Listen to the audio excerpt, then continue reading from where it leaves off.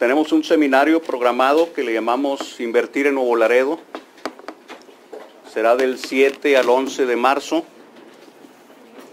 en el Hotel Hilton Millennium en Seúl, Corea del Sur.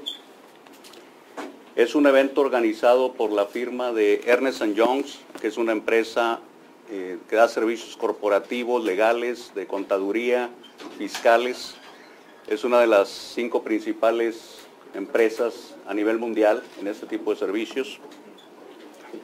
El seminario es un seminario de, lo tenemos programado de tres horas y media, donde prácticamente esta firma les va a mostrar a las empresas coreanas todos los pasos que tienen que seguir para establecerse en México, cómo se trata la situación de los impuestos, eh, gastos, arranque de una operación, etcétera.